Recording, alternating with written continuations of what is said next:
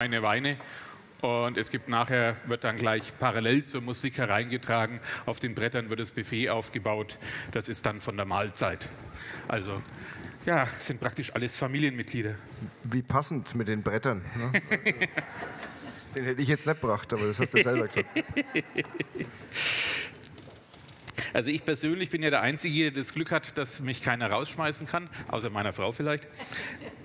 Und deswegen traue ich mich, diese heikle Angelegenheit äh, anzusprechen. Es wird ja bei den Stadtführungen Albert Geng nicht, mü äh, nicht müde, diese intensive, langjährige, jahrhundertealte Freundschaft zur Nachbarstadt Lauf äh, zu erwähnen. Ähm, Sie wissen, offensichtlich Bescheid. Und äh, da gab es irgendwas. Was war, denn, was war denn da los, was äh, an dieser Freundschaft, diese traditionelle, na, Robert, was war da? Wie viel Zeit habt ihr? ich erzähle ein nein, bisschen was fange, über, fange nicht im Mittelalter über, an. Nein, ich erzähle ein bisschen was über Lauf und das Book. Also es kann alle lange dauern. Nein, nein, nein, keine Angst. Ich weiß natürlich, lieber Herwig, worauf du hinaus willst. Ähm, wir haben ja zur Eröffnung des Jubiläumsjahres im Mai eine Konzertreihe organisiert. Das war auch die Idee vom Johannes, mal zu sagen, Mensch, überlegen wir mal, beziehungsweise ist die Idee gemeinschaftlich entstanden beim letztjährigen Festival, auch wieder zu vorgerückter Stunde irgendwo. Ich muss die Werbung machen, weil es auch wirklich ähm, so ein bisschen die Heimat ist der Künstler und der Organisatoren im Café Bauer dann nach den Konzerten. Waren dann auch befreundete Bürgermeister mit dabei ähm, aus Röthenbach, liebe Conny, und ähm, auch aus Burg Tannenmal, äh, der Heinz Mayer und, und der Klaus Hacker. Und die haben dann gesagt, Mensch, das ist so toll, diese Festivalabende, die Konzertabende bei, bei dir, können wir sowas nicht mal bei uns auch ähm, installieren. Und daraus ist dann die Idee entstanden, mit dem Johannes zusammen zu sagen, okay, wir machen einen, ein Festivalwochenende im Mai bereits, sozusagen als Appetizer für diese Festivalwoche. Als äh, Werbeaktion auch. Ja, na klar, sollte auch Werbung sein. Und haben dann gesagt, okay, wir nehmen drei Städte, das ist eben Röthenbach, äh, ähm, und Burg Tann und Lauf hat sich da ebenfalls mit angeschlossen. Ähm, der Kollege aus Lauf wollte da nicht hinten anstehen. Er hat gesagt, das müssen wir in Lauf auch machen, das ist ganz toll. Habe ich mich darüber gefreut, muss ich wirklich sagen. Ähm, am Ende lief es dann in Röthenbach sehr gut, in Burg Tann toll und statt Lauf haben wir in Hersbruck gespielt. Also mehr Sache nicht dazu. Ich will da gar nicht näher drauf einsteigen, weil das würde jetzt das schöne Festivalwochenende auch so ein bisschen kaputt reden. Also, nein, nein. Aber ein bisschen enttäuscht waren wir schon, das muss ich schon sagen. Weil gerade in, der großen, in unserer großen Stadt, in der Kreisstadt in Lauf, ähm, hätten wir uns schon gewünscht, dass das funktioniert, aber hat halt leider nicht geklappt. Johannes, die der Arnoldo hat gerade erwähnt, was seine Hauptmotivation war, dieses Fest im Prinzip zum Laufen zu bringen. Und äh, es war, wenn ich richtig informiert bin, wenn ich es richtig nachgelesen habe, ja auch Arnoldo, der dich mit vorgeschlagen hat als Nachfolger davon. Und wir haben ja vorhin gehört, so ein Festival hat verdammt viel mit Geld zu tun. Und so ein bisschen habe ich dann gelesen und dann hat Arnoldo dich vorgeschlagen, weil der kann das auch mit dem Geld.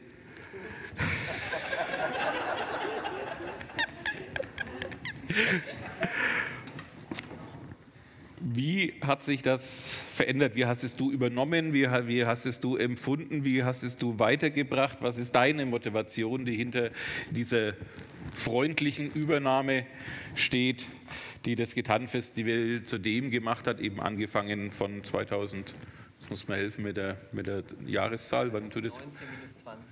Also, nein, nein, nein, nein, von, von, von Arnoldo. Als du von Arnoldo übernommen hast ja, in dieser ja, Phase. Ja. Du warst ja vorher schon so, eingeladen als Künstler. Genau. Und was war im Prinzip dies? Ist an, ist an. Ist an? Hallo, okay. Du musst nur reinsprechen. Ja, also erstens mal ist es natürlich erstaunlich, wie unglaublich die Zeit vergeht. Ich war vor 15 Jahren das erste Mal da, da hat Arnoldo mich eingeladen.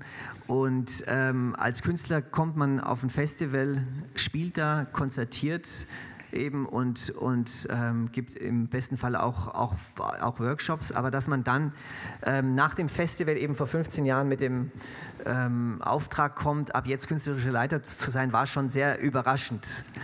Und ähm, ja, Arnoldo, dafür danke ich dir natürlich sehr, dass, dass du mich damals vorgeschlagen hattest. Ich habe erst mal gezögert, weil ich dachte, Mensch, ähm, das bedeutet eine große Verantwortung, weil wenn ich was übernehme, ich bin eher immer sehr langfristig orientiert, sei es in Beziehungen oder auch in, in, ähm, Schon wieder Familie. in beruflicher Hinsicht natürlich. Dann heißt es Verantwortung. Und ich, ich hatte gesehen, dass, dass hier ein wunderbarer Samen gelegt wurde, eben von Arnoldo, von Gerard natürlich auch und von ähm, Josep Enriquez. Und ähm, und die Hauptvoraussetzung, die hier ähm, war und die ich eben gespürt habe, das ist das, was jetzt hier auch ganz oft angesprochen war, dieses, die, ja, diese familiäre Atmosphäre, das Vertrauen und, und ja, das, das, was hier vom Publikum überspringt auch. Und ihr habt eingangs ähm, die Szenerie von Lauf und Hersbruck ähm, gerade angeschnitten. Es war faszinierend zu sehen, als wir dann ganz kurzfristig, drei Tage vor dem besagten Konzert in, in Lauf oder zwei Tage vorher oder einen Tag vorher Ein, ja, ja, ja. diskutiert haben, was machen wir jetzt, wenn die Laufer ähm, dann nicht mitziehen. Dann kam plötzlich im Gespräch Max Weller, Robert und ich haben, haben, haben diskutiert, was, was machen wir jetzt. Und dann ganz spontan kam die Idee, Mensch, dann lasst, lasst uns dieses Konzert doch in Hersbruck machen. Und alle, die jetzt mit Veranstaltungen zu tun haben und, und, und wissen, dass man, ähm, wenn man jetzt ein Konzert von einem Tag auf den anderen organisieren will, da kommt kein Mensch. Aber das Konzert war ausverkauft hier in Hersbruck und es ist wunderbar, dass sowas möglich ist. Und das ist, und das ist auch, was, was Hersbruck wirklich ausmacht. Die, ihr alle steht dahinter und es ist wirklich toll. Und ich habe oft bei Konzerten, also meine Idee ist ja auch Bekanntes mit Unbekannten zu mischen, auch Neues, auch Herausforderndes zu bieten. Und es ist wirklich unglaublich, auch bei, bei ungewöhnlichen Klängen, bei, bei Dingen, die es erstmal zu entdecken gibt. Es ist eine wirklich wunderbare Offenheit hier und das ist, ja, das ist fantastisch.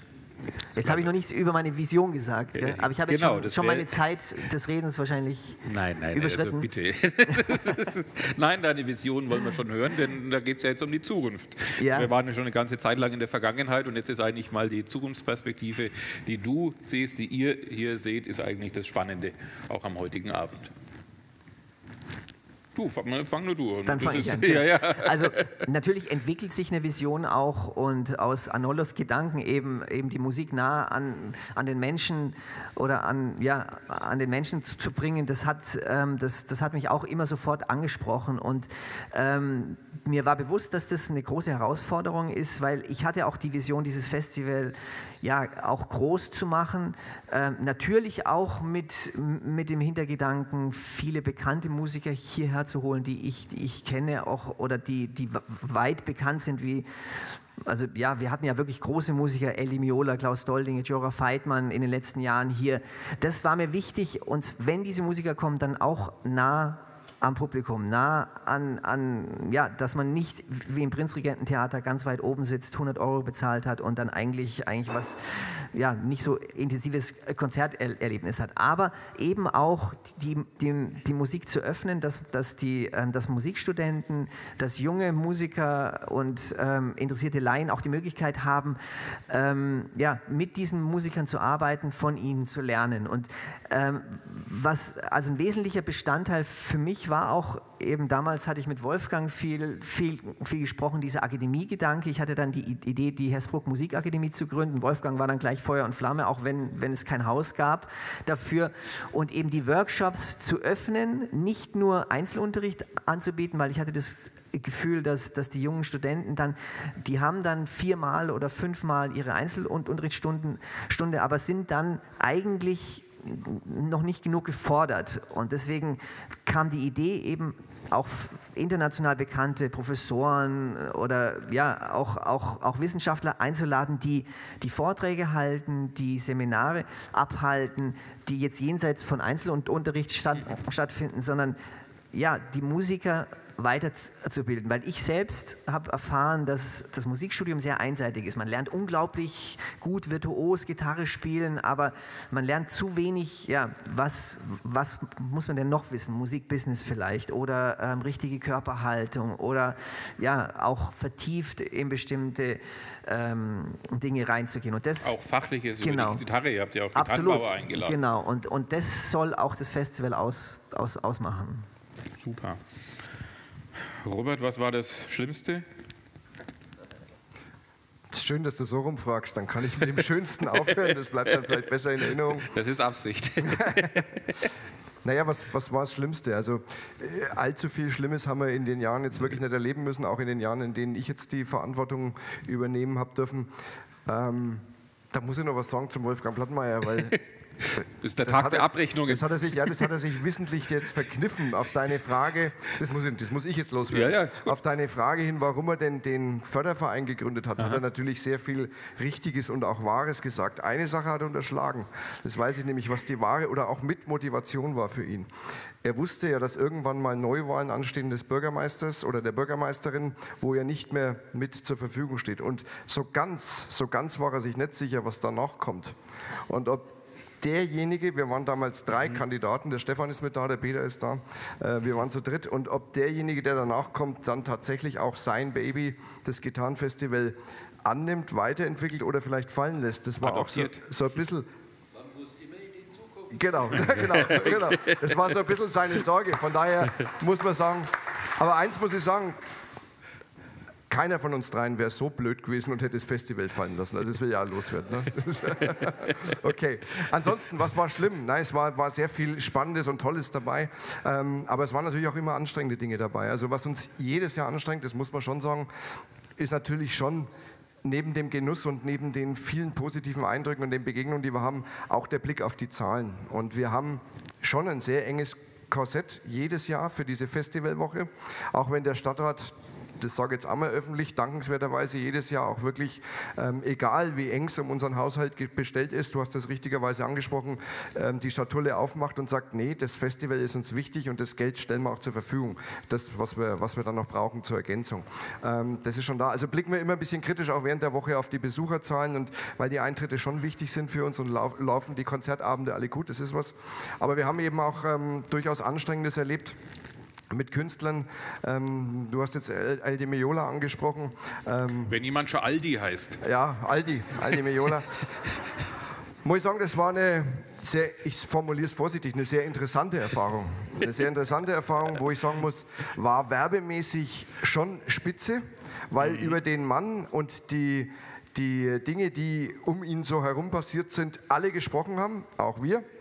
Ähm, also da war es werbemäßig wirklich, wirklich spitze, aber ganz ehrlich, Johannes, wir haben ihn einmal gehabt, das genügt auch.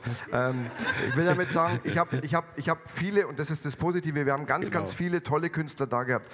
Wirklich ehrwürdige Menschen und großartige Künstler, wo man, wo man sich verneigt davor, bevor die überhaupt einen Ton gespielt haben. Ähm, Jorah Feitmann ist so ein Mensch zum Beispiel für mich oder, oder andere großartige Persönlichkeiten, wo man gedacht hat, Mensch, was machen die in Hersbruck, was stellen die für Anforderungen, was brauchen die? Und da stellt man dann fest, bei denen, wo man, wo man eigentlich mehr Sorge gehabt hat, die brauchen gar nichts, so wie du es geschildert hast, Wolfgang. Die sind zufrieden, wenn die in der Sportkabine ähm, vielleicht ein Glas Rotwein noch neben der Wasserflasche haben, aber ansonsten gibt es ein belegtes Brötchen und das war's dann. Damit kommen die durch. Und am Ende gibt es dann tatsächlich die Pizza oder wenn, vielleicht auch was anderes in einem Restaurant. Aber was mit El Di Miola abgelaufen ist, angefangen vom Auto das werde ich nie vergessen. Also die Story muss ich loswerden. Also ähm, nochmal, wir sitzen ganz, ganz viele Sponsoren da und wir werden toll auch äh, unterstützt, was Fahrzeuge während der Festivalwoche angeht. Wir hätten damals haben können für den Transport wohlgemerkt die Riesen Abholung, Abholung, Abholung die riesengroße Reise von München nach Hersbruck, also es dauert ja Stunden, fast Tage, ähm, hätten wir gehabt einen Audi A8 in Vollausstattung. Wir hätten einen 7er BMW in Vollausstattung gehabt. Wir haben alles gehabt, aber der Mann beharrte auf einen S-Klasse Mercedes. Einen S-Klasse Mercedes. Wir hätten eine schöne, voll ausgestattete E-Klasse gehabt. Dann hat der Johannes schon gesagt, Vorsicht, haben wir schon mal erlebt. Die E-Klasse ist vorgefahren.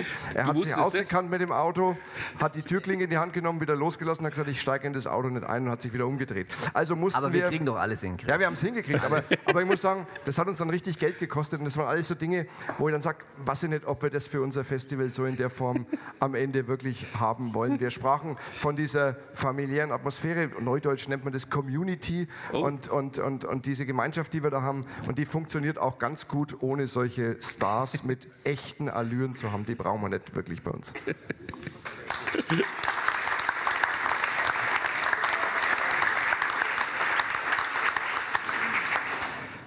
Noch eine Frage aus dem Publikum. Haben wir was Wichtiges vergessen, was Ihnen seit 20 Jahren auf der Seele brennt und Sie.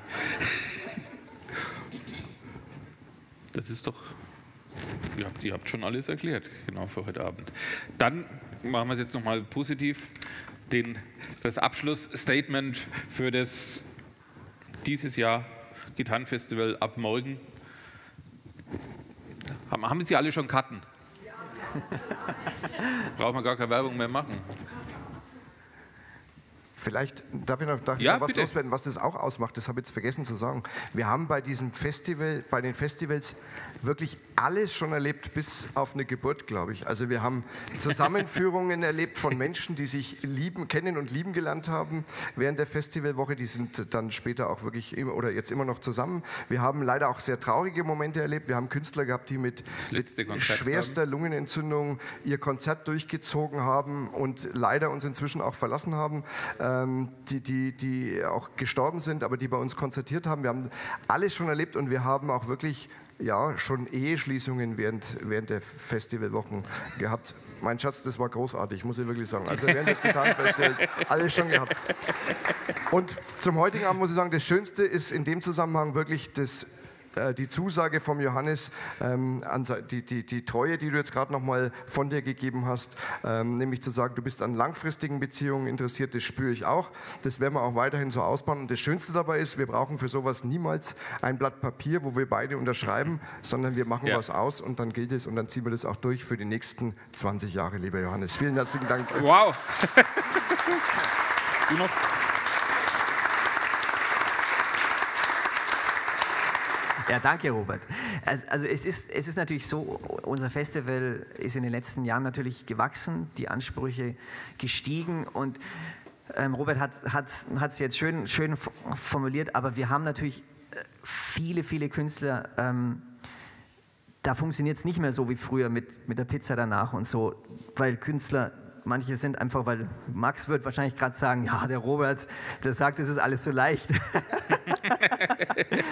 Aber das, das, zeichnet unser Festival auch aus, dass, dass wir wirklich, ähm, dass wir mitwachsen, dass, dass wir alle gelernt haben, ähm, den Künstlern eigentlich wirklich das, das zu bieten, was sie brauchen, auch wenn es manche Allüren sind.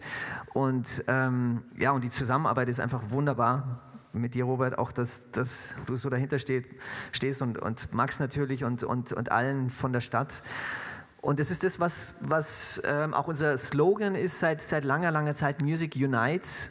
Musik verbindet und das, ja, das ist einfach das, wo wir weiter dran arbeiten möchten und wollen. Mein Interview heute in der Süddeutschen Zeitung stand, das fand ich ganz, ganz schön, eben wirklich statt virtuell. Also wir wollen mit dem Festival eine andere ähm, Realität bieten, als, ja, als heutzutage oft durch, durch die Medien suggeriert wird auch. Und, und deswegen vielen Dank, dass Sie dabei sind. Und jetzt, wenn du keine weiteren Fragen hast, würde ich nämlich den Künstler, der jetzt auf die Bühne kommt, kurz vorstellen. Carlos Barbosa Lima ist für uns Gitarristen eine Legende, Brasilianer, ähm, der eigentlich kaum einen Heimatort hat, weil er die ganze Zeit auf Tournee und auf der, ja, auf der Reise ist. Er hat mit, mit ganz, ganz vielen wirklich ganz berühmten Menschen zusammengearbeitet. Er hat, ich glaube, mit 14 Jahren sein erstes Konzert gegeben, mit 15 Jahren dann in, ganz, in einem ganz großen ähm, Theater in, in, Rio de Janeiro vor über 1000 Menschen. Ähm, die Brüder Assad, die äh, auch am Donnerstag konzertieren werden, die, die sagen, ja, Carlos Barbosa Lima ist eigentlich, also unser Vater hat uns Platten von ihm ähm, vorgespielt und das ist eigentlich eine, ja, die Legende der Gitarre oder eine der Legenden der Gitarre. Und er hat auf der ganzen Welt konzertiert und hat aber erst, ähm, Carlos, when did you play the first time here? also 2011 hat er sein Deutschlanddebüt in Hersbruck gegeben. Und deswegen dachten wir, ja, jetzt muss er wieder kommen, auch zum 20-jährigen Jubiläum. Wenn Sie noch keine Karten haben, am Freitag nächste Woche spielt er Konzert.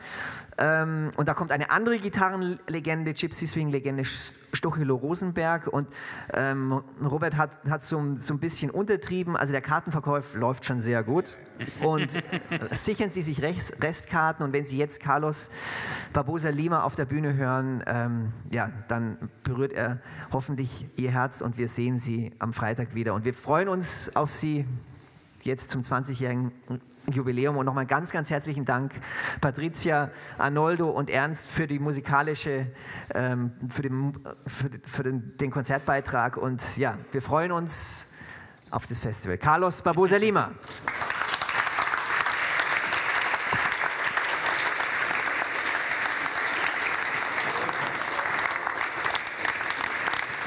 Während, währenddessen wird das Buffet schon aufgetragen.